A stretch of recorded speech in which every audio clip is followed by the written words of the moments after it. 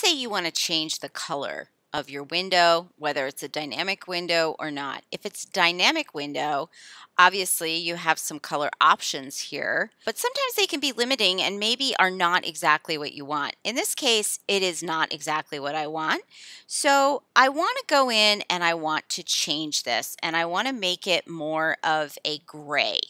Now, whether or not Marvin offers this or not, I'm not sure, but for my project, I just want to have the opportunity to kind of have it the color I want. In order to do that, you can change these things.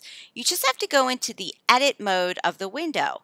And you'll notice that because these are dynamic components and because there's a lot that can be changed, you may have to go in kind of far to be able to select just the components that you want to change. So I need to go into edit mode, which will be to double click on the inside. And now if I come in with the paint bucket tool, I can change all those things.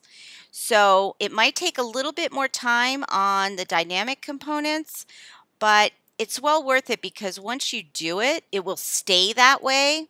So you don't have to do it again because you can always make a, a copy of it. Now, sometimes you might have to spend a little bit more time kind of going all the way around and making sure that you've got all the little parts because the dynamic windows, they're made up of smaller groups. So now if I close this out, I've been able to change the color of my window. All of these are still customizable. And as I said, once you have it and you have your grill pattern set up, you can just very easily make a copy by selecting it, clicking the move tool, and holding the option key down in order to make a copy of it.